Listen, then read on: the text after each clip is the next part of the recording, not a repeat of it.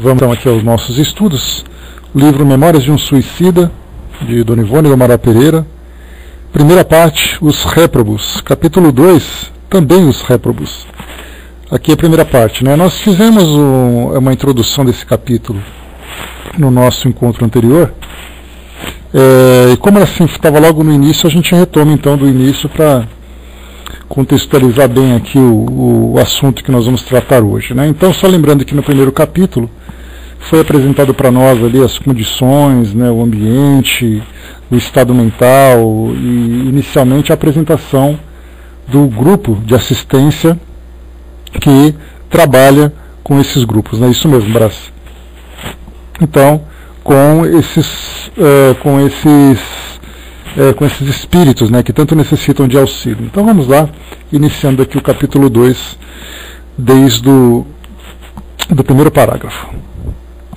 É, os réprobos são os reprovados, né, podemos chamar assim, que nesse caso seriam exatamente esses espíritos que sofreram, né, e, uh, o, no caso do, do, do, suicídio, né, foram, vamos dizer assim, reprovados nas próprias provas que vivenciaram. Né? Bom dia, Isabelle.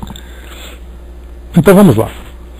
Em geral, Aqueles que se arrojam ao suicídio para sempre esperam livrar-se de dissabores julgados insuportáveis, de sofrimentos e problemas considerados insolúveis pela tibiez da vontade deseducada, que se acovarda em presença, muitas vezes, da vergonha do descrédito e da desonra, dos remorsos deprimentes postos a enxovalharem a consciência, consequências de ações praticadas a revelia das leis do bem e da justiça. Também eu, assim, pensei, muito apesar da auréola de idealista que minha vaidade acreditava glorificando minha fronte. Aqui ele começa falando, né? Bom dia, Vanessa. Começa falando sobre ah, as motivações que muitos espíritos têm para optarem pelo suicídio, né? Nesse caso nós temos ali a vergonha, descrédito, a desonra, né? Tudo isso na verdade parte do orgulho ferido, né, de muitas pessoas que acabam fugindo então da existência para não sofrer esse tipo de constrangimento. E o próprio Camilo Castelo Branco fala para nós aqui, né, sobre aquela ideia de idealista, né, que ele era um escritor português, né, nós estudamos sobre isso na introdução aqui do nosso trabalho. E aí naquela época então ele colocava suas ideias, cheia de ideais, cheia de, de vontade de transformações e de repente caindo na, na, na, na desgraça financeira, ele acabou então sucumbindo e optando pelo suicídio. Né? Então a gente vê assim que o orgulho, na verdade, é a grande causa de muitos é, daqueles que optam pelo suicídio.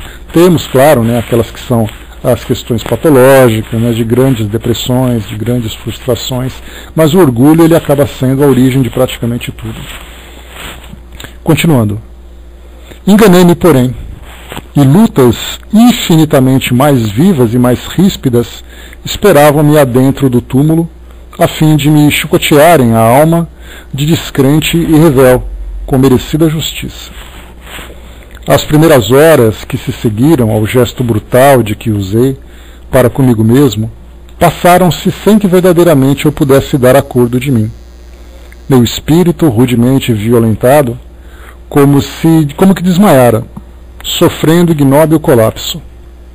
Os sentidos, as faculdades que traduzem o eu racional, paralisaram-se como se indescritível cataclismo houvesse desbaratado o mundo prevalecendo, porém, acima dos destroços, a sensação forte do aniquilamento que sofre meu ser, que sobre meu ser acabara de cair. Fora como se aquele estampido maldito, que até hoje ecoa sinistramente em minhas vibrações mentais, sempre que descerrando os véus da memória, como nesse instante reviva o passado execrável. Ah, ecoa sinceramente em minhas vibrações mentais, é, tivesse dispersado uma a uma as moléculas que em meu ser constituíssem a vida. Então nós vimos aqui nesse início, né, no nosso encontro anterior, ele contando exatamente quais foram as impressões que ele sentiu, que ele teve, é, no ato imediato ao suicídio. De que forma que. Porque a gente lembra sempre que é, a, o processo da morte, ou seja, a desencarnação, sendo um processo de transformação, é, geralmente, como eu comentei com vocês, nós temos uma ideia do que é antes da desencarnação e depois da desencarnação. E poucas vezes nós temos informações sobre o durante a desencarnação. E dessas informações que nós temos, pouquíssimas vezes nós conseguimos encontrar é, informações nesses casos de suicídio. Nós tivemos, por exemplo, no, é, um caso contado por André Luiz, nós tivemos o caso contado pelo espírito, é, irmão Jacó. Então, alguns casos vão passando para nós, mas cada espírito numa condição diferente.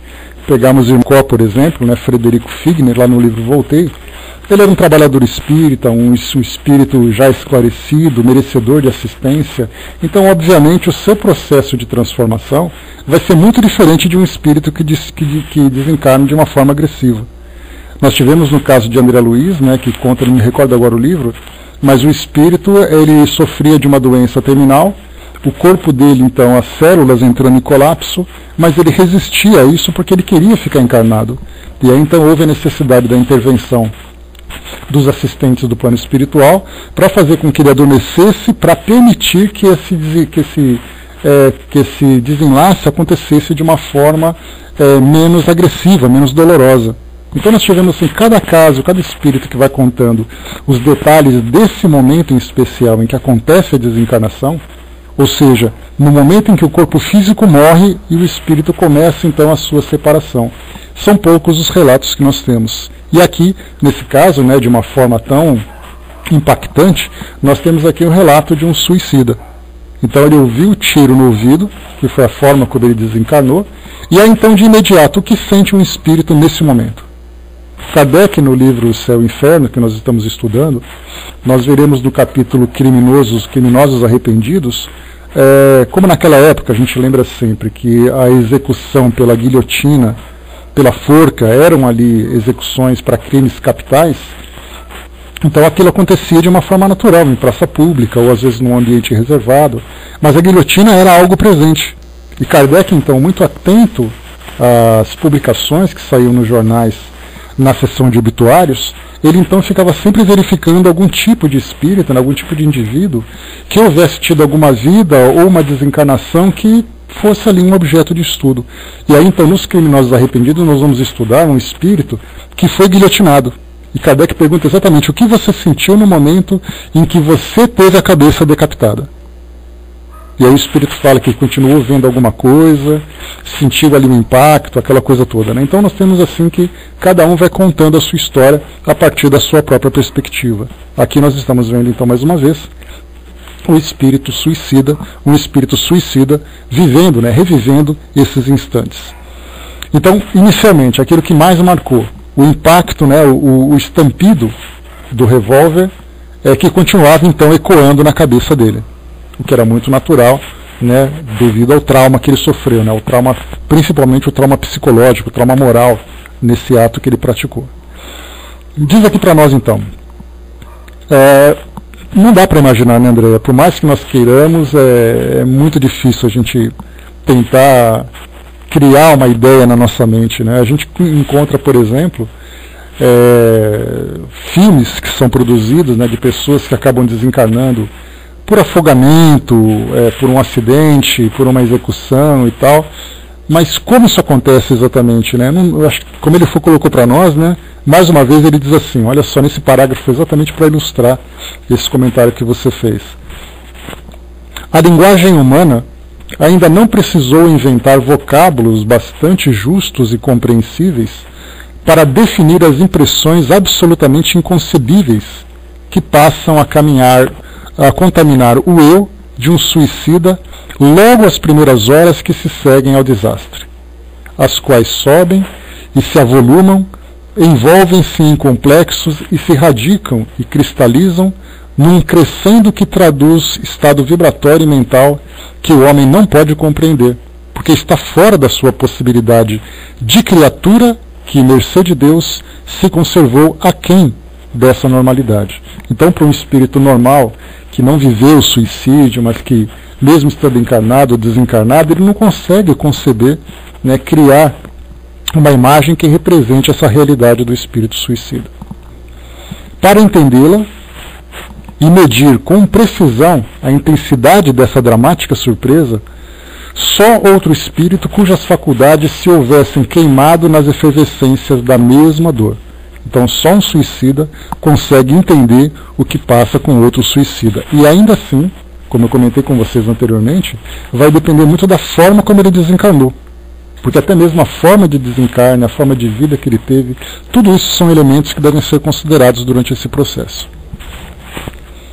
Nessas primeiras horas, que por si mesmas constituíram, é, constituiriam a configuração do abismo em que se precipitou, se não representassem apenas o prelúdio da diabólica sinfonia que será constrangido a interpretar pelas disposições lógicas das leis naturais que violou, o suicida semi-inconsciente, adormentado. Uh, só um instantinho. Pronto. Uh, adormentado, desacordado, sem que para maior suplício se lhe obscureça de todo a percepção dos sentidos, sente-se dolorosamente contundido, nulo, dispersado dos seus milhões de filamentos psíquicos, violentamente atingidos pelo malvado acontecimento. Né? Então, o que foi colocado para nós é que ele fica meio que adormecido, meio que atordoado, meio que é, semi-inconsciente, mas ao mesmo tempo sentindo as impressões que o atormentam. Então, é aquele pesadelo né, em que o espírito fica ali quase inconsciente, mas vivendo em sua mente algumas imagens que trazem essa grande perturbação. Paradoxos turbilhonam em volta dele, afligindo-lhe a tenuidade das percepções, como martirizantes grilando-las de sensações confusas. Perde-se no vácuo, ignora-se. Não obstante, aterra-se, acovarda-se, sente a profundidade apavorante do erro contra o qual colidiu, deprime-se na aniquiladora certeza de que ultrapassou os limites das ações que lhe eram permitidas praticar.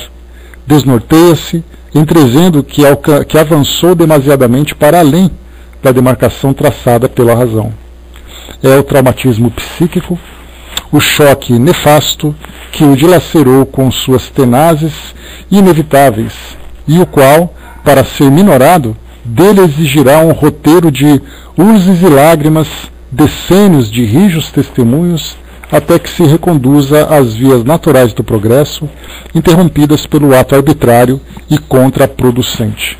Aqui, quando ele coloca sobre isso, essa, esse tempo que o espírito levará para poder se recompor a partir do ato que ele praticou, ou seja, ele começar aquele trabalho de regeneração, de reconstituição no plano espiritual, de, de reequilíbrio, de começar a se desenvolver novamente, ele colocou aqui decênios de rijos testemunhos, ou seja, né, uma, um tempo significativo de duras provações, como foi o caso, por exemplo, que a própria Dona Ivone trouxe para nós, né, que ela comentava que essa última encarnação que ela viveu aqui no nosso meio, ela falava exatamente que ela não tinha nenhuma chance de ser feliz. Desde criança era uma criança infeliz, uma adolescente infeliz, uma adulta infeliz, e a única, o único propósito da sua existência durante essa encarnação seria exatamente se fortalecer diante do ato que ela praticou na existência anterior. Como uma suicida, né, a gente se lembra que ela se lançou num rio e acabou se afogando. E aí então essa vida dela, com uma mediunidade ostensiva, né, no mais alto grau, vivendo ali experiências dolorosas próximas aos espíritos perturbados, a espíritos suicidas, tendo que trabalhar junto à pobreza aqui no mundo material, junto à caridade, para poder fortalecer exatamente esses seus valores. Então a gente fica se perguntando, né, mas quanto tempo exatamente nós poderíamos considerar para que um espírito suicida se recompôsse? Ou se recomponha? Aí varia muito de cada um deles, porque nós já tivemos depoimentos, por exemplo, de espíritos que durante as psicografias falavam de suas lamentáveis condições. Nós estamos estudando lá no livro O Céu e o Inferno, se não me engano são nove casos, né? nós estudamos o primeiro caso, então são nove casos de espíritos suicidas que trazem esse depoimento. Então sempre com muita dor, sempre com muito sofrimento. Bom dia, fraterna.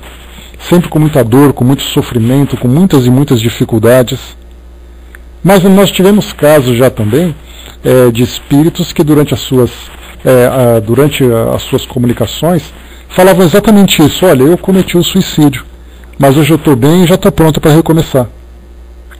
Então a gente sempre imagina que toda comunicação vai ser sempre aquela, aquela desgraceira toda, aquela, aquele, aqueles relatos de grandes sofrimentos, de grandes dores. Sem dúvida nenhuma, o início dessa jornada no plano espiritual, a partir da, da chegada com a, desse, dessa, dessa forma com o suicídio, é sempre bastante dolorosa. Mas o tempo de recuperação de cada espírito vai, de, vai depender muito da forma como ele se coloca diante do ato que ele praticou.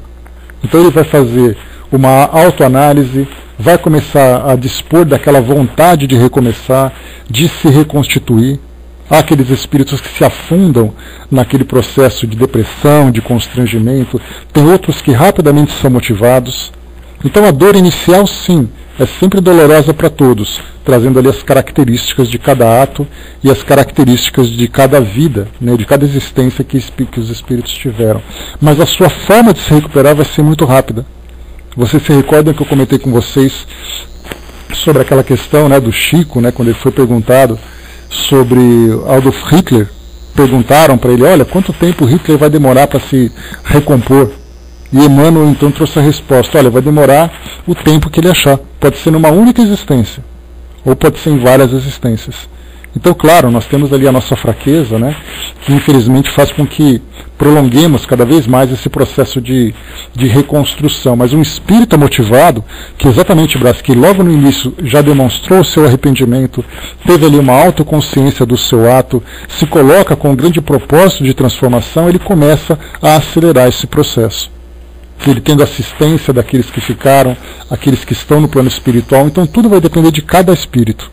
Né? Bom dia, Pati. O Tico Teco lembrou aqui, né, experiência é fundamental para consolidar nosso conhecimento e fé. Então, é exatamente a nossa espiritualização. Essa experiência vai refletir exatamente na espiritualização dos indivíduos, né, de cada um de nós, que vai nos proporcionar esse grande crescimento. Continuando, vamos lá.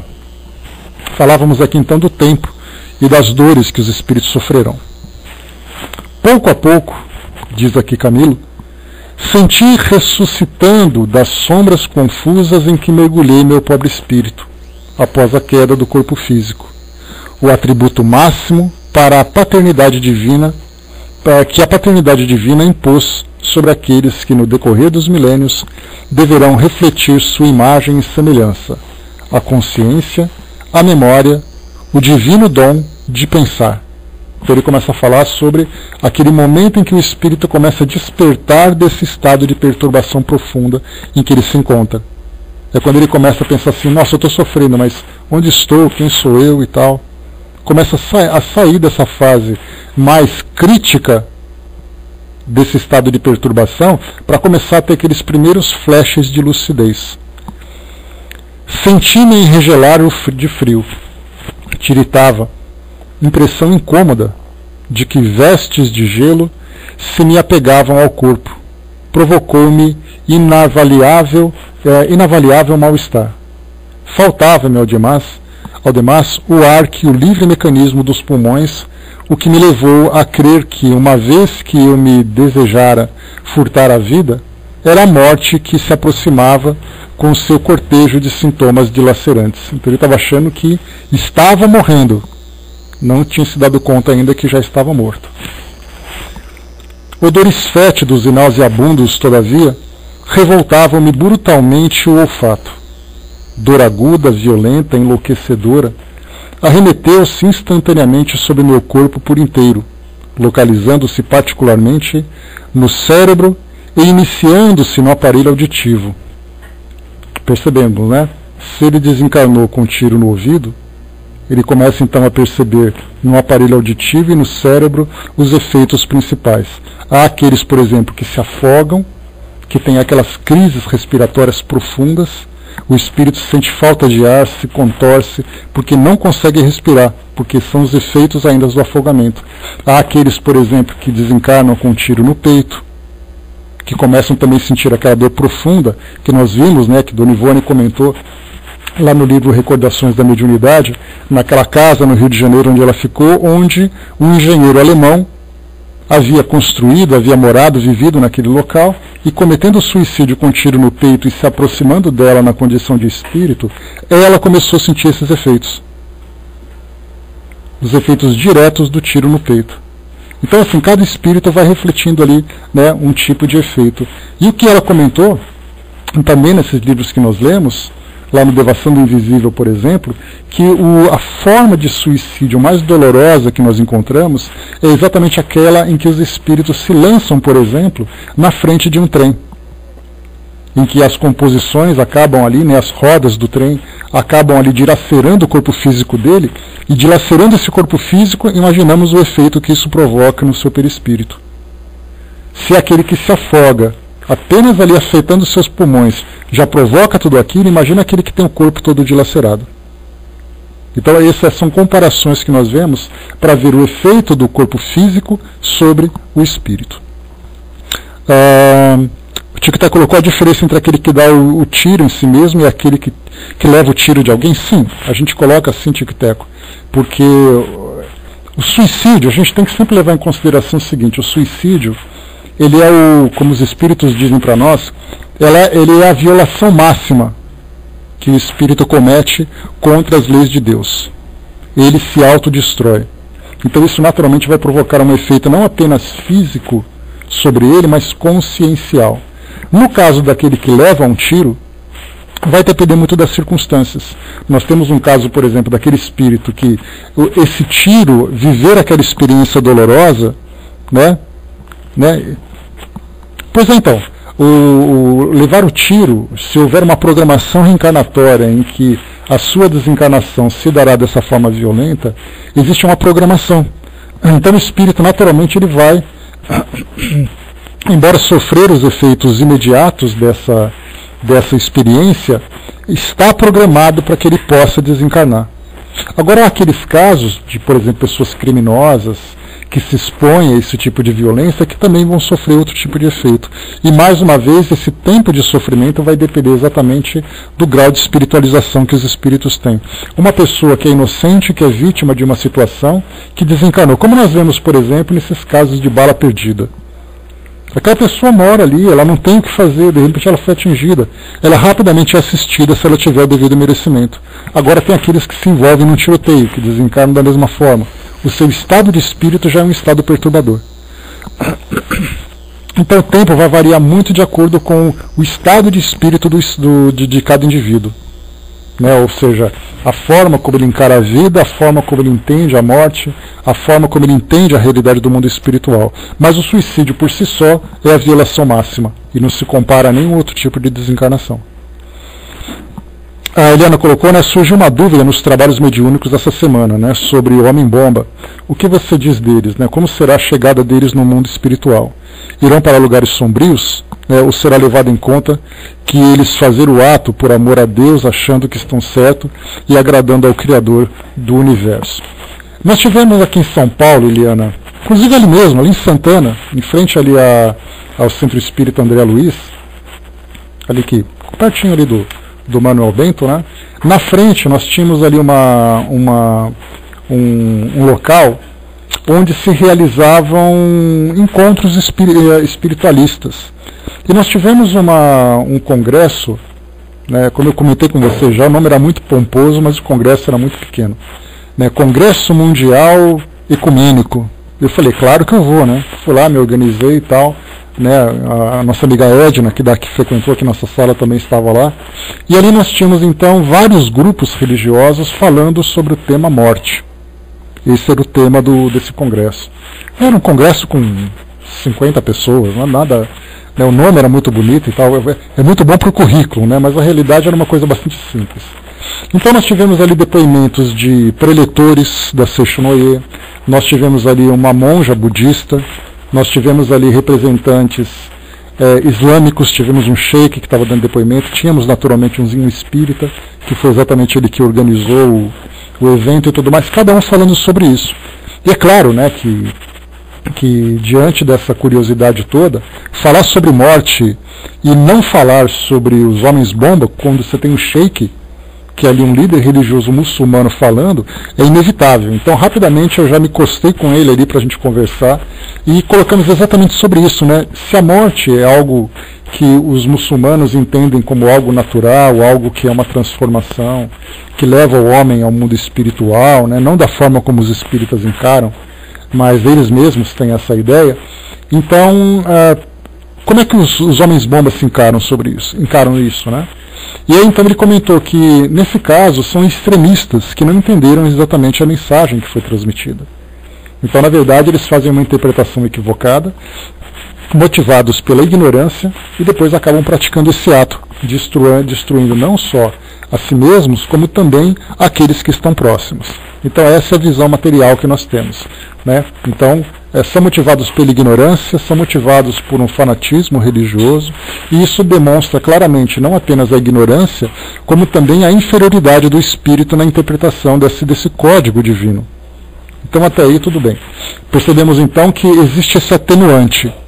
Ele cometeu aquele ato acreditando que estava fazendo a coisa certa. Mesmo que nos tempos atuais nós não tenhamos mais justificativa para que você possa é, é uma revolta, mas o, o, que motiva principalmente é essa ideia do, da religião, de você fazer com que a religião seja colocada é, é, acima de tudo, né, Tic Tac? Mas claro, existe ali a insatisfação, a revolta, né, essas são as motivações que eles têm também. Então o, o espírito acaba é, tendo esse atenuante. Mas o fato dele é, ter essa ignorância não tira dele a responsabilidade de saber que tirar a vida de alguém é algo que viola a, a, as leis divinas interpretadas por qualquer escola religiosa. Então ele é um suicida, independente disso.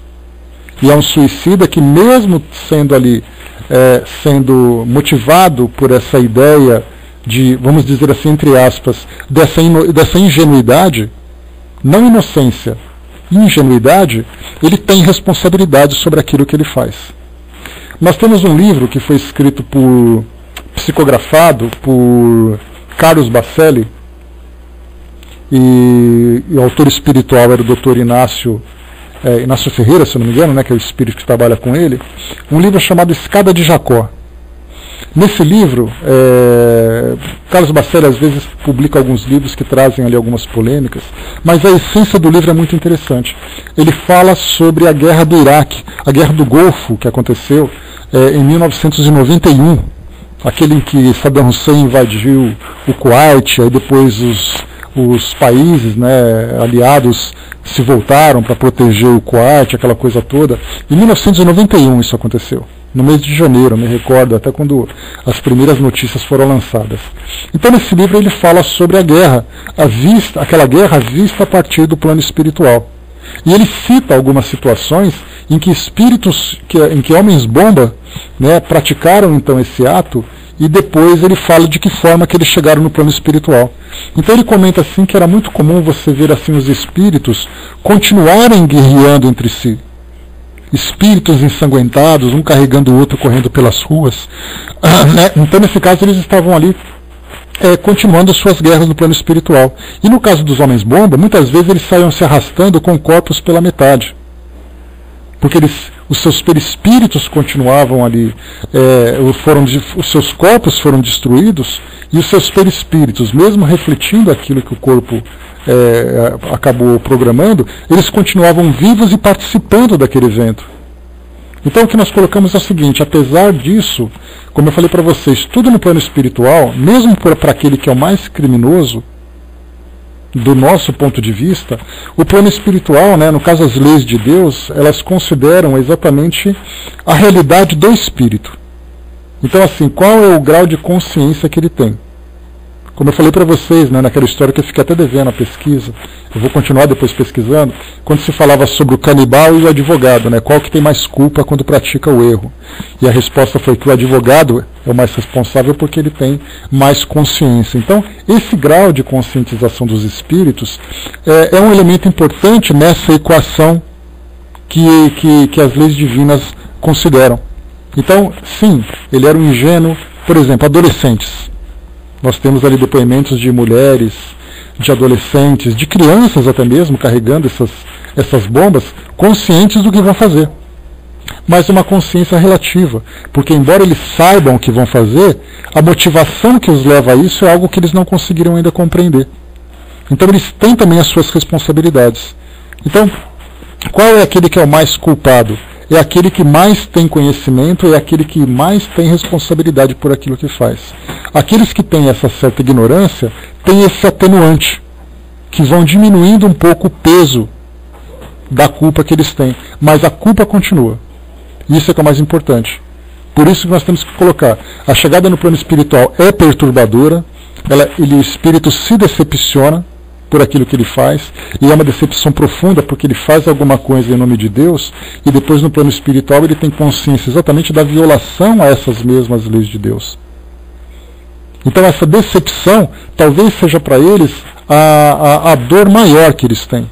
Porque na verdade muitos desses jovens, dessas pessoas, elas são convencidas a isso, sendo por exemplo oferecido a elas é, não apenas essa promessa né, do, do, do paraíso no plano espiritual, segundo a interpretação da escola islâmica, mas também o apoio às suas famílias, dizendo, por exemplo, olha, quando você, quando você fizer isso, a sua família vai receber todo o apoio a sua esposa, seus pais, seus filhos e tudo mais. Então, assim, é uma série de ilusões que vão sendo criadas e o grande despertar do espírito, quando ele chegar no plano espiritual, ele vai se deparar exatamente com todas essas ilusões que ele mesmo acreditou.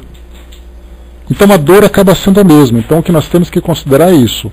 O ato foi praticado. O espírito tem responsabilidade. Agora, qual é o peso de tudo isso? Podemos supor, por exemplo, criar uma situação em que um jovem que cometeu suicídio através do, de um atentado é, com, com uma bomba. Que nós vemos hoje isso fácil. Você vai no YouTube, você encontra ali caminhões e tudo mais, né? E tantos outros crimes, outros suicídios que são praticados dessa forma, atentados, né? Então, imagine esse jovem, criando essa seguinte suposição. Esse jovem praticou esse ato, na preparação disseram para ele que ele seria recebido, que ele seria um herói, que a família seria assistida, que ele combateria aqueles que eram inimigo de Alá e tudo mais. Aí ele comete esse ato. Várias pessoas desencarnaram por culpa dele, ele vai chegar no plano espiritual sofrendo esse ato imediato do, daquilo que foi praticado, e de repente ele começa a despertar e perceber o erro que ele teve. E rapidamente ele começa a se colocar à disposição para se regenerar para corrigir aquilo que ele praticou. Então aquele drama todo que nós imaginamos que o espírito vai sofrer acaba sendo exatamente transformado numa possibilidade de regeneração extremamente rápida, porque o espírito se conscientizou. E ele quer rapidamente também transformar aquilo tudo. Então pensamos na essência. O ato foi praticado, a culpa existe. Agora vamos pensar na condição do espírito que foi acreditado naquilo. É assim que a gente vai entender. E a decepção por ter acreditado numa ideia equivocada, é aquilo que vai ser o mais doloroso para ele, não tenhamos dúvida disso. O Arnaldo colocou lá em cima, né, não creio que seja, né, será levado a lugar, a lugar sombrio, né, ele mesmo se localizará em ambientes onde predominem suas condições vibracionais, não seria? Nós temos depoimentos diversos, né, Arnaldo, por exemplo, é, para esses casos que nós estamos estudando agora, como o Memórias de um Suicida, nós temos casos de espíritos que são levados para esse ambiente coletivo, como descreve para nós Camilo Castelo Branco. Nós temos depoimentos de psicografias que eu mesmo já tive oportunidade de receber, né? não eu como médium, mas de, de ter contato com elas, de ver espíritos que se encontram sozinhos. A descrição, por exemplo, venho do lugar frio, sombrio e fétido e eu não consigo ver a luz do dia como se fosse um pântano. Esse espírito traz esse relato. Nós temos nesse caso desse livro que fala do espírito, que ele continua envolvido ainda naquela situação em que ele cometeu o suicídio. Então assim é muito difícil para nós dizer que todos eles passarão pelas mesmas experiências. Todos eles viverão aquela mesma situação.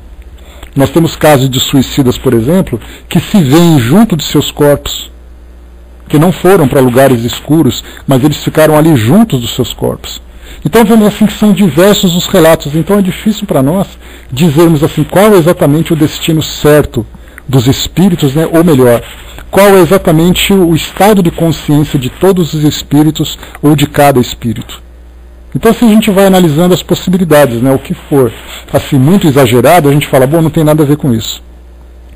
Nós tivemos casos, por exemplo, nos bastidores da obsessão de Manuel Filomeno de Miranda, psicografia do Divaldo, em que acontece uma obsessão, uma obsessão grave que está acontecendo de uma família, onde essa descrição de Manuel Filomeno de Miranda é através do Divaldo. Então nós temos uma credencial para ver nesse livro informações importantes. Então nós temos ali, é, dentro da casa da pessoa, foi colocada junto delas, da família, para habitar aquela casa, um espírito de uma jovem que tinha cometido, cometido suicídio. E o papel dela, ficar ali parada, feita ali uma, uma estátua dentro da casa naquele tempo todo, era exatamente transmitir a vibração depressiva que a levou ao suicídio. Então simplesmente ela foi levada por um grupo de obsessores para obsediar uma família. E ela seria então, vamos dizer assim, entre aspas, aquele foco que contaminaria toda a família com suas vibrações negativas. Então, quer dizer, eu trouxe para vocês agora vários casos diferentes de suicídios que mostraram situações diferentes. Então, a ideia do Vale dos Suicidas, né, que seria essa coletividade de suicidas, todos eles vão viver isso juntos, nós vemos nesses casos diferentes que nem todos são assim. Então, a gente vai juntando essas pecinhas para formar assim um consenso geral. Então, o que passa na consciência deles é muito subjetivo. Cada espírito cria a sua própria realidade. Agora, qual é o estado moral que eles vivenciam? É a dor, é a angústia, é a decepção. Então, isso para nós acaba sendo assim: vamos pegar aquilo que é comum a todos, que é esse estado moral, a repercussão magnética da destruição do corpo, mais a sua consciência, né, mostrando tudo aquilo que eles sofreram, que eles provocaram, e depois a gente tenta analisar individualmente como cada um cria esse panorama no plano espiritual. Eu acho que é a melhor forma que nós temos para estudar, porque do contrário a gente vai sempre entrar em conflito, porque cada história traz para nós um panorama diferente. Eu acho que é o jeito mais é, tranquilo que a gente tem. Vamos pegar aquilo que é comum. E aquilo que é individual, a gente vai depois selecionando caso a caso. Acho que fica melhor assim. Né? É, legal, legal então, Eliana. Tá bacana que, que possa ajudar de alguma forma.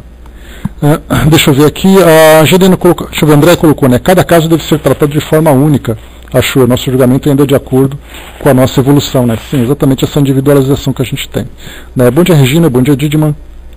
a Angelina colocou para nós, né? Seria no caso lugares como limbo da Igreja Católica. É uma boa lembrança que você colocou, Angelina. Por exemplo, para espíritos que têm essa crença dentro daquilo que foi passado nos livros católicos, como por exemplo o inferno, esse limbo, acaba sendo essa realidade. No caso, por exemplo, do livro A Divina Comédia, de Dante Alighieri, ele fala sobre o céu, o inferno e o purgatório. E tem aquele ambiente onde os suicidas se encontram ali. Então, quer dizer, é a crença que eles têm. Se um suicida comete esse ato acreditando que vai chegar no inferno e encontrar ali todos os demônios e o diabo, se esse, esse é o cenário que se encontra na mente dele, isso pode se tornar para ele uma realidade. Então a gente está tentando entender essa mecânica da, da nossa imaginação, dos nossos valores, de nossas crenças. E essa crença, nesse momento tão doloroso do suicídio, no momento da morte, é um, provoca um efeito muito intenso sobre o espírito.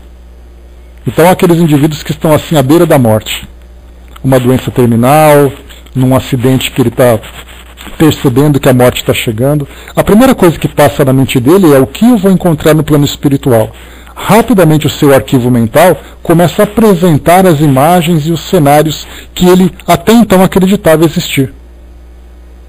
E essa crença que vai fazer com que ele produza, então, essa realidade do plano espiritual. No caso do suicídio, se ele tem um, um, medo mortal de alguma coisa do plano espiritual, esse medo mortal vai se transformar numa realidade. Se ele acredita no nada, como nós vimos lá no caso de Claire, ontem que nós estudamos o livro Céu e Inferno, Claire não acreditava em nada, porque ela era uma mulher bonita, sensual, rica, mas extremamente egoísta e materialista. Se ela não acreditava em nada do plano espiritual, qual foi o cenário que ela encontrou no plano espiritual? São Luís trouxe exatamente essa resposta. Se ela acreditava no nada, que a vida dela seria nula, ela chegou no plano espiritual vivendo o vazio, o silêncio e a escuridão. Então é a mente de cada um que produz. Né? E no caso da Igreja Católica, ou mesmo dos, dos dos muçulmanos ou qualquer outra religião, cada um vai criar a sua própria imagem. Mas assim não existe uma criação organizada, porque é, um, é tão tumultuado esse momento, como nós estamos vendo, que o espírito não consegue raciocinar. É aquilo que é mais intenso que aparece de imediato.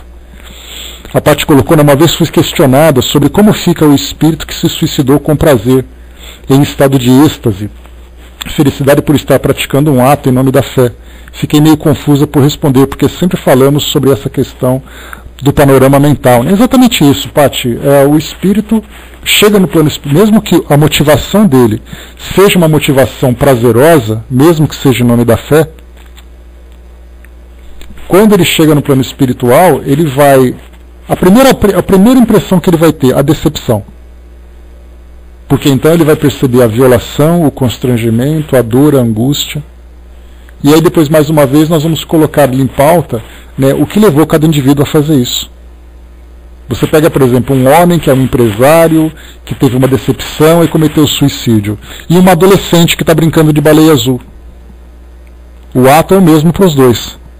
Mas qual é o efeito sobre cada um?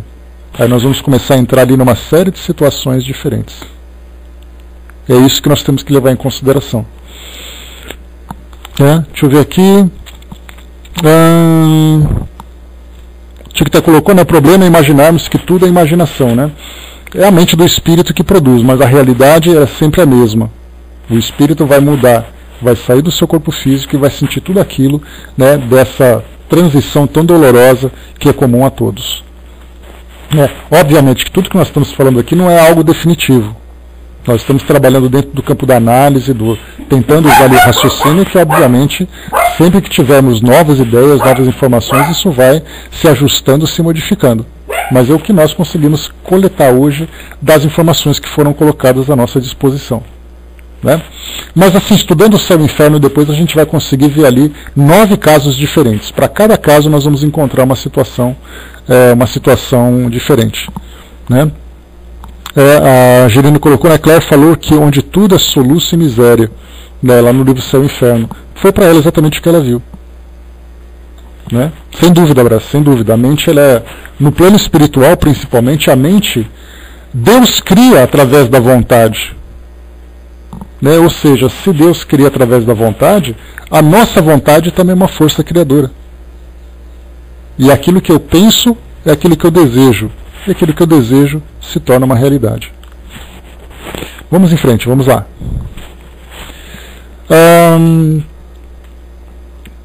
só voltando então ao ato que ele praticou, né? Odores fétidos e nauseabundos, todavia, revoltavam-me brutalmente o olfato. Dor aguda, violenta, enlouquecedora, arremeteu-se instantaneamente sobre o meu corpo por inteiro, localizando-se particularmente no cérebro e iniciando-se no aparelho auditivo. Presa de convulsões indescritíveis de dor física, começou com a dor física, né? Pela lesão que ele provocou. Levei a destra ao ouvido direito.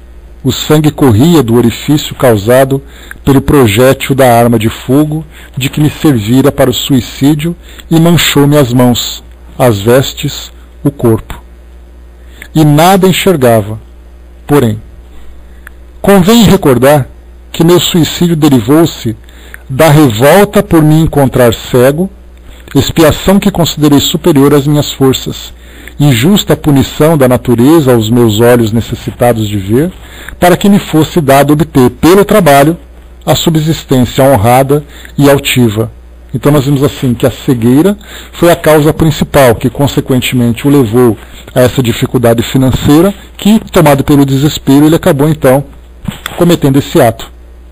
Então olha a causa que ele teve, que nós tivemos assim, a sua grande prova, porque ele era um escritor. Então dá para a gente fazer uma relação. Um escritor que não consegue ver, ainda mais naqueles tempos, né? Embora pudesse ali usar outros recursos, né, com assistência e tudo mais, mas o orgulho do indivíduo de não ser mais capaz de fazer aquilo que ele achava tão importante foi exatamente a grande motivação que ele teve. Depois do seu ato, olha só que interessante. Sentia-me, pois, ainda cego. E para o cúmulo do meu estado de desorientação, encontrava-me ferido. Tão somente ferido, e não morto. Porque a vida continuava em mim como antes do suicídio. Passei a reunir ideias, malgrado meu. Revi minha vida em retrospecto até a infância, e sem mesmo omitir o drama do último ato, programação extra sob minha inteira responsabilidade. Sentindo-me vivo, averiguei consequentemente que o ferimento que em mim mesmo fizera, tentando matar-me, fora insuficiente, aumentando assim os já tão graves sofrimentos que desde longo tempo me vinham perseguindo a existência. Supus-me preso em um leito de hospital ou em minha própria casa, mas a impossibilidade de reconhecer o local, pois nada havia, os incômodos que me afligiam, a solidão que me rodeavam, entravam a me angustiar profundamente, enquanto lúgubres pressentimentos me avisavam de que acontecimentos irremediáveis se haviam confirmado. Bradei por meus familiares, por amigos que eu conhecia, é, afeiçoados, bastante para me acompanharem em momentos críticos. O mais surpreendente silêncio continuou enervando-me. Indaguei mal-humorado por enfermeiros, por médicos que possivelmente me atenderiam, dado que não me encontrasse em minha residência e sim retido em um hospital, por serviçais criados que for, fossem quem for, fosse quem fosse, que me obsequiar pudessem, abrindo as janelas do aposento onde eu me supunha recolhido, a fim de que correntes de ar purificado me reconfortassem os pulmões, que me favorecessem coberturas quentes é, acendessem a lareira para amenizar a gelidez é, que me entorpecia os membros, providenciando bálsamo às dores que me supliciavam o organismo, e alimento e água, porque eu tinha fome e tinha sede. Como espanto, em vez das respostas amistosas, porque tanto suspirava, o que minha audição distinguiu, passadas algumas horas, foi um vozerio ensurdecedor, que, indeciso e longínquo a princípio, como a destacar-se de um pesadelo, definiu-se gradativamente até positivar-se em pormenores concludentes. Era um coro sinistro, de muitas vozes confusas, desnorteadas, como aconteceria numa assembleia de loucos. Então dá para a gente imaginar assim, né, a, o estado em que ele se encontrava. Primeiro aquele silêncio, aquela dor, aquela confusão, Aí depois, rapidamente assim, ele começa a vir lá de longe aquelas vozes que começam a ficar cada vez mais altas, mais claras, e aí então ele consegue definir né, esse vozerio dessa assembleia de loucos. Isso nessas horas após o ato que ele praticava. Então dá para a gente perceber que o pouco tempo que acontece, né, o indivíduo pratica aquele ato numa determinada hora, três, quatro, cinco horas depois, é tudo isso que vai se desenrolando. E ele vai então começando a sair daquele estado de torpor, inicial, torpor e ao mesmo tempo confusão, ele começa a ter um pouco de lucidez, mas uma lucidez acompanhada com confusão e loucura. A sua mente completamente fora né, do, do equilíbrio. No entanto, essas vozes não falavam entre si, não conversavam.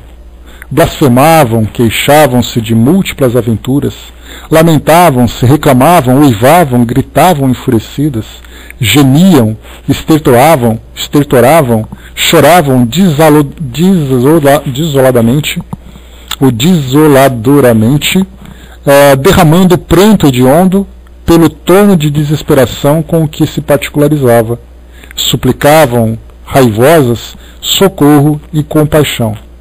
Se nós estamos então aqui, como nós vemos, num ambiente onde existe muito sofrimento, muita decepção, muita revolta, dá para a gente imaginar né, o, o, conteúdo de todo esse vozerio que ele ouvia, e até mesmo do qual ele participava também. Porque ele chamava também, ele queria assistência, ele queria algum alguém que o ajudasse, perdia a paciência. Se numa situação normal, né, nós já percebemos as pessoas desequilibradas no trânsito, no ambiente onde tem que esperar e tudo mais, dá para a gente perceber como acontece num ambiente como esse. Então, nós tínhamos aqui, lá no início, no primeiro capítulo, ele comentava sobre o, o ambiente em que ele se encontrava já numa condição mais é, lúcida, vamos dizer assim, dessa posição nova em que ele ocupava, ele falava sobre aquilo que os espíritos faziam e aquilo que os espíritos falavam. Então nós tínhamos ali palavrões, agressões, blasfêmias contra Deus, contra as pessoas, uns contra os outros. Então era verdadeiro ali um verdadeiro pandemônio esse lugar, né? E todos eles nesse caso pedindo então, né, que todos eles querendo ser assistidos. Só que o detalhe era que nenhum deles tinha merecimento para essa assistência. Esse merecimento se daria conforme o tempo fosse passando e os espíritos fossem se desprendendo dessa realidade. Foi aí que nós vimos então aqueles caravaneiros, né, da, da segura aí, fraterna, da, do, dos legionários de Maria, que periodicamente recolhiam espíritos que já estavam em condições de serem assistidos. E exatamente o tempo, como nós já vimos aqui, varia então, de, variava de espírito para espírito de acordo com o equilíbrio que ele fosse alcançando. Aterrado, senti que estranhos empuxões, como arrepios irresistíveis, transmitiam-me influenciações abomináveis, provindas desse todo que se revelava através da audição, estabelecendo corrente similar entre meu ser superexcitado e aquele cujo vozerio eu distinguia. Esse coro, isócrono, é, rigorosamente observado e medido em meus intervalos, em seus intervalos, infundiu-me tão grande terror que reunindo todas as forças de que eu poderia, de que poderia o meu espírito dispor em tão moléstia e tão molesta situação, movimentei-me no intuito de afastar-me de onde me encontrava para o local é, em que eu não mais o ouvisse. Então eu tentava desesperadamente fugir desse tumulto todo. Esse vozerio, essa loucura toda que nós podemos ver, dá para a gente imaginar, é, me veio aqui enquanto eu li esse parágrafo, me veio essa imagem. Pensar, por exemplo, assim, é, uma pessoa que cometeu um crime, e aí então ela vai presa pela primeira vez, é, por um vacilo que ela praticou ali na sua vida social, e ele vai preso exatamente num dia em que tem uma rebelião num presídio. É aquela pessoa que tinha uma vida tranquila, mas ele acabou cometendo esse erro. E ele chega então naquele local onde presos perigosos, revoltados, queimando coisas, assassinando pessoas e tudo mais. E essa pessoa começa a ouvir esse som desse local. Dá para a gente imaginar assim, né, ter uma pálida ideia do que é mais ou menos essa realidade para quem já assistiu né, a filmes que mostram esse cenário né, de revoltas em presídios e tudo mais, dá para a gente ter uma ideia né, do, do, de que forma que os, os atores interpretam esse cenário. Então imagina uma pessoa que é ingênua vai nesse local. Uma criança que é recolhida nessa fundação casa e chega exatamente no dia em que acontece uma rebelião desses jovens. E ele então começa a ouvir tudo isso, cai naquele desespero, se encolhe no canto da parede, tomado de medo, de, de pavor, de sei lá que sentimento começa a brotar nele. É mais ou menos isso que nós podemos fazer uma pálida comparação dessa realidade. Tateando nas trevas, tentei encaminhar, lembrando que ele está cego, ou ele se vê como cego. Tateando nas trevas, tentei caminhar. Mas disse-ia que raízes vigorosas plantava-me naquele lugar úmido e gelado em que me deparava. Não podia desapegar-me, não podia despegar-me. Sim, eram cadeias pesadas que me escravizavam, raízes cheias de seiva que me atingiam grelhetado é, naquele extraordinário leito por mim desconhecido, impossibilitando-me o desejado afastamento. Aliás, como fugir se já estava ferido? Desfazendo-me em hemorragias internas, manchadas as vestes de sangue e cego, positivamente cego. Como apresentar-me a público em tão repugnante estado?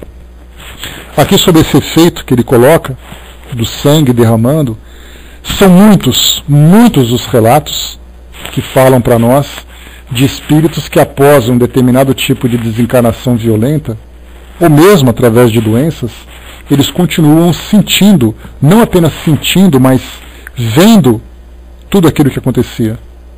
Então, indivíduos que desencarnaram, por exemplo, de forma violenta com tiros, eles veem ali o sangue que não para de escorrer.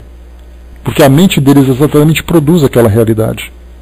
aqueles que sofrem de doenças que são doenças graves, ele continua sofrendo o efeito daquelas doenças. Porque, mais uma vez, aquilo que o espírito acredita se transforma em uma realidade. Mesmo que ele não queira criar aquela realidade, mas ele viu, ele se vê daquela forma, ele acredita naquilo. Né? O perispírito começa então a demonstrar, a criar exatamente essas mesmas marcas do corpo físico, porque é assim que ele vê. Kardec vai falar, por exemplo, de espíritos decapitados, que falam né, com suas cabeças separadas do corpo. Parece algo fantasioso, mas não é, porque o espírito simplesmente cria essa imagem é aquilo que ele viu. Por isso que o trabalho no plano espiritual é um trabalho, vamos dizer assim, é uma, é uma psicologia intensa que os espíritos precisam aplicar sobre esses desencarnados, e nós seremos submetidos a isso também, não tenhamos dúvida, né, mas isso felizmente né, de uma forma positiva, porque nós seremos assistidos simplesmente para podermos nos adaptar ao plano espiritual, enquanto esses espíritos serão assistidos para poder se reorganizarem mentalmente. Então a equipe de, de, psicólogos espirituais, vamos chamar assim, são aqueles espíritos que vão acolher esses espíritos para mostrar, olha, você desencarnou, seu corpo físico foi destruído, você não é o corpo físico, pense em algo positivo. Então vai fazer aquele trabalho, né, aquela, aquela psicoterapia que muitas vezes demora muito tempo, dependendo da condição em que o espírito se encontra. Então, para quem gosta de psicologia, se prepara que vai ter muito trabalho para fazer lá. Só que vai ser uma psicologia voltada para o espírito e não para o não indivíduo encarnado, né, que tem ali as suas diferenças, mais ou menos como André Luiz, que era médico aqui no corpo físico, vai chegar no plano espiritual e vai ter que aplicar outro tipo de medicina. A medicina perispiritual, a medicina do espírito. Né? Então, esse trabalho da mente é um trabalho absolutamente intenso. Uh, deixa eu ver aqui. Uh, por que se vê isso nos outros lá? Né? Penetramos nos pensamentos criativos do outro. Não, porque, o, o na verdade, o tic-tac, o espírito, é, nós moldamos o nosso perispírito da forma que nos convém. Vamos chamar assim.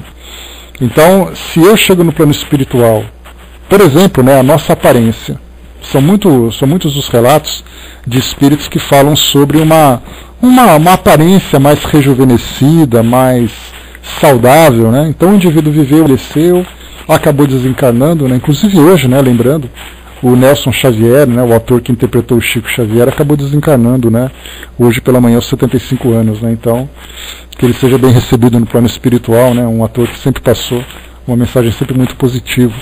Então assim, é, esses espíritos então que desencarnaram, eles ah, levam inicialmente aquilo que o seu corpo físico refletia. Então, se por acaso o indivíduo teve uma doença degenerativa que foi ali destruindo o seu corpo, ele chega no plano espiritual e imediatamente sentindo esses mesmos efeitos. E isso, naturalmente, se ele estiver ainda, né, essa mentalidade relacionada com o corpo com o mundo material. No caso de um espírito que já é bem espiritualizado, ele simplesmente se destaca do seu corpo físico já né, num processo de recuperação, enquanto outros demoram um pouco mais. Então nós chegamos no plano espiritual com essa aparência. Conforme nós vamos reequilibrando a nossa mente, nós vamos modificando a, a autoimagem que nós criamos, né, nós vamos então criando uma, uma, uma aparência mais saudável. No caso das doenças, por exemplo, o espírito reflete exatamente essa realidade que ele se vê. E então ele vai sendo tratado, ele vai sendo, vai se recuperando, vai ficando mais saudável, ele vai lembrar assim, olha, eu era assim. Quando eu cheguei eu estava nessa condição. Hoje eu estou bem. Então exatamente porque a mente dele foi mudando e consequentemente o perispírito foi refletindo, né, foi sofrendo o reflexo dessa, uh, dessa mudança mental que ele teve. Né? Uh, o perispírito vai sofrendo essa mudança também, né? Continuando, vamos lá. Ah, deixa eu pegar aqui onde eu parei.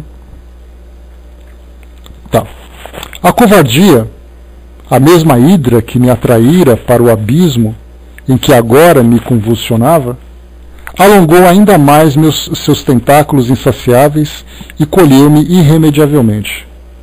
Esqueci-me de que era homem, ainda uma segunda vez, e que cumpria lutar para tentar vitória fosse que preço fosse de sofrimento.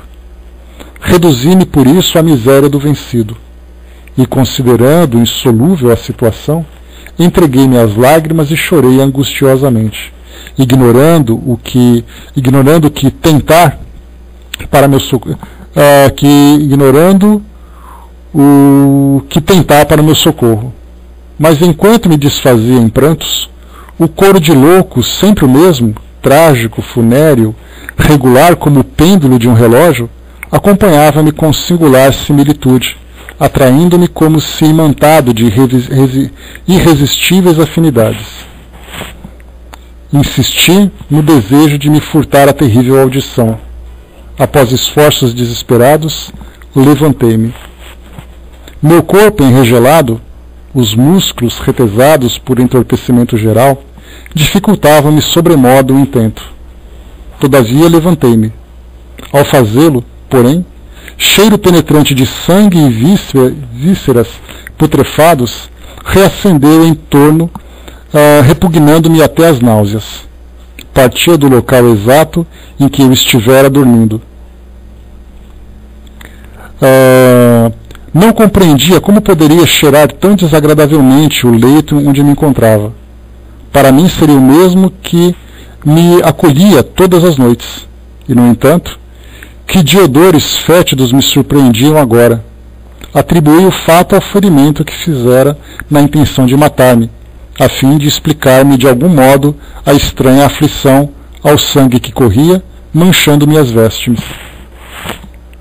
Realmente, eu me encontrava empastado de peçonha, como um lodo asqueroso que desorasse, que dessorasse eh, de meu próprio corpo empapando incomodativamente a indumentária que usava, pois, com surpresa, surpreendi-me trajando cerimoniosamente, não obstante retido num leito de dor.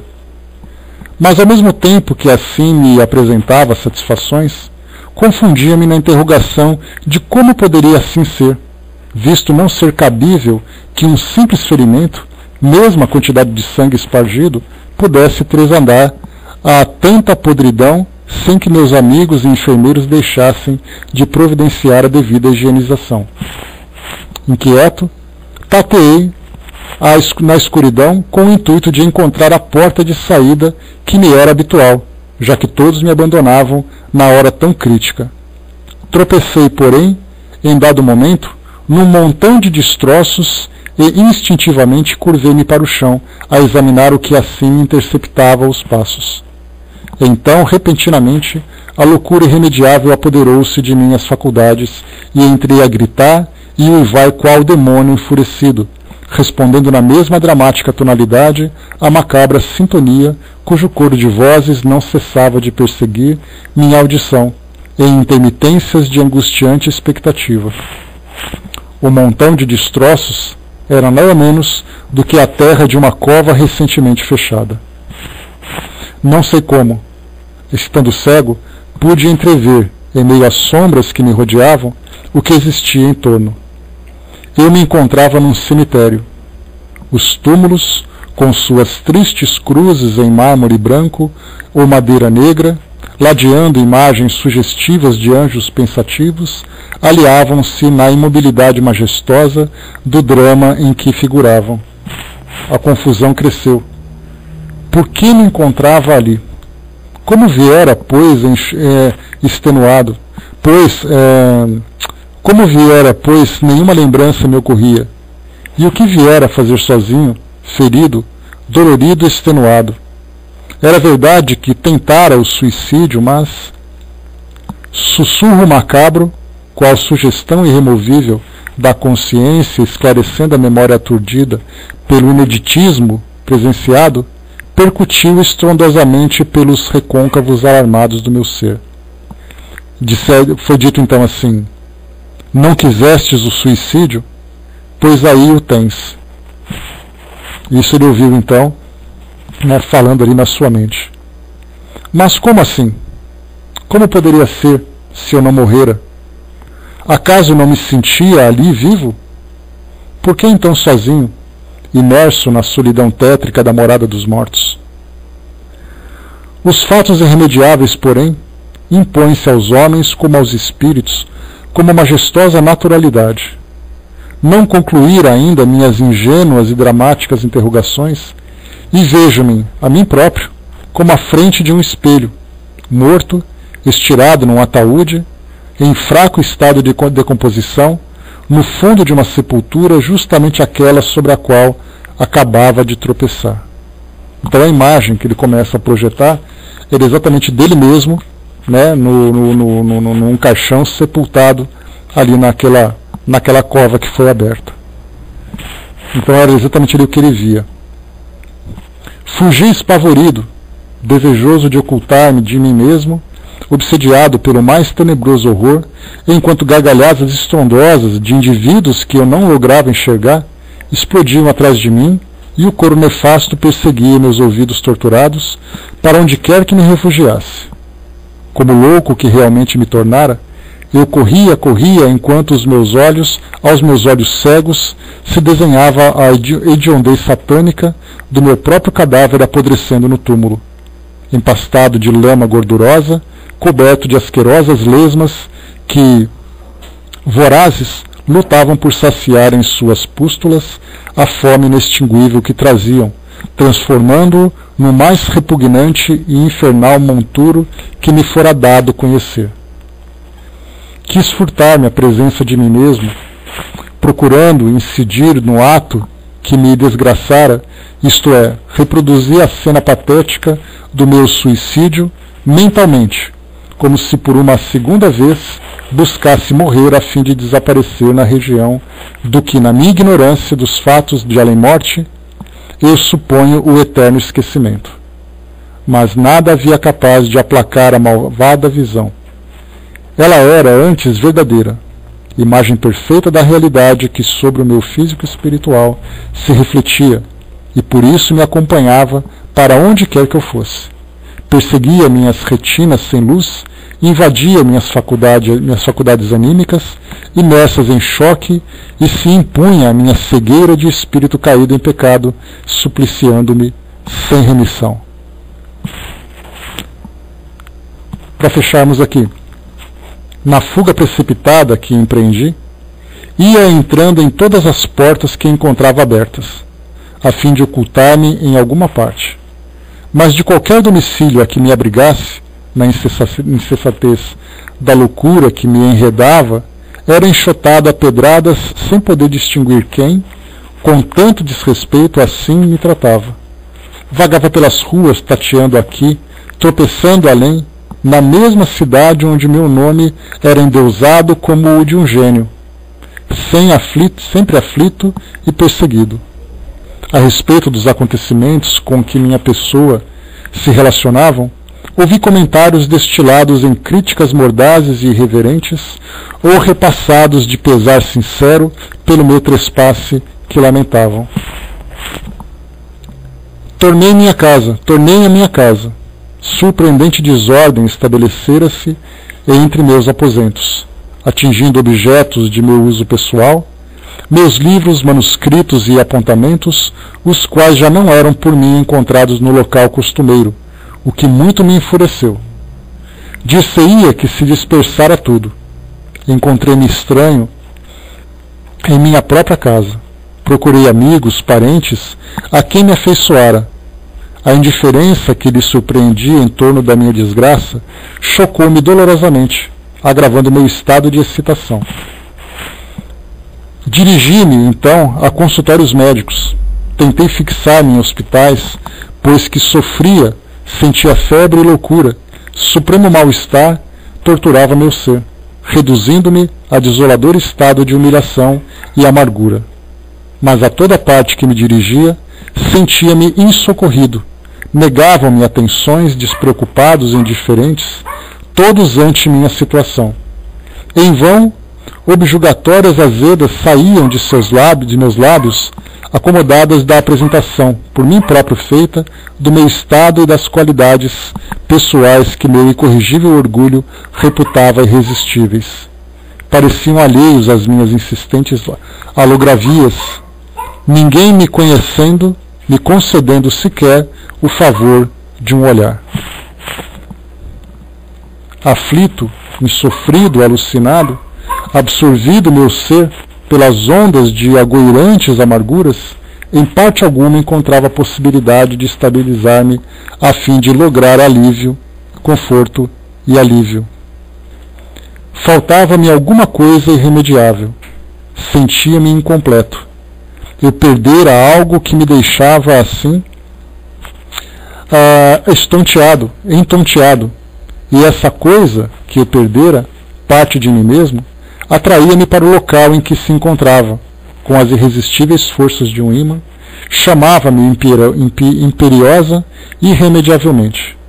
Era tal a atração sobre que sobre mim exercia, tal o vácuo que em mim produzira esse irreparável acontecimento, tão profunda a afinidade, verdadeiramente vital, que a essa coisa me unia, que, não sendo possível de forma alguma fixar-me em nenhum local para que me voltasse, tornei ao sítio tenebroso de onde viera, o cemitério. Então, pessoal, esse aqui foi o trecho que nós vemos hoje. Aqui ele fala exatamente sobre essa, essa aflição que ele viveu, né, de tentar sair daquele local, de tentar ali, se movimentar para ambientes diferentes, né, sua casa, ambientes médicos e tudo mais. E aí então ele acabava sendo atraído para aquele mesmo local onde seu corpo físico se encontrava. É daí então as tantas e tantas, né, é, é, tantas e tantas, uh, tantos e tantos relatos que são trazidos para nós, falando de indivíduos que ficam ali, em cemitérios, né, junto aos seus corpos físicos, é, vendo, né, sim, não apenas sentindo a, o apodrecimento dos seus corpos, a decomposição dos seus corpos, mas também a própria aflição do ambiente onde eles se encontravam. Então, nesse relato aqui que Camilo traz para nós, mostra exatamente essa força magnética, essa coisa que o atraía de volta. É o que nós vamos falar no nosso próximo encontro, né, que vai ser na, na semana que vem na continuação da nossa leitura, ele vai explicar um pouquinho sobre essa força atrativa, essa força magnética que o levava a esse mesmo ambiente.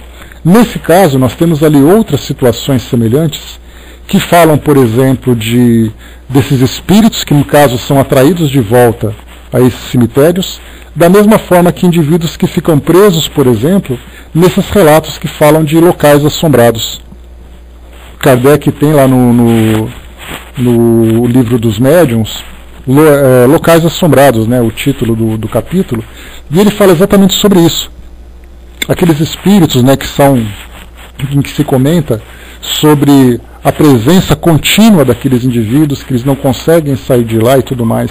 E muitas vezes os próprios espíritos dizem que não conseguem sair.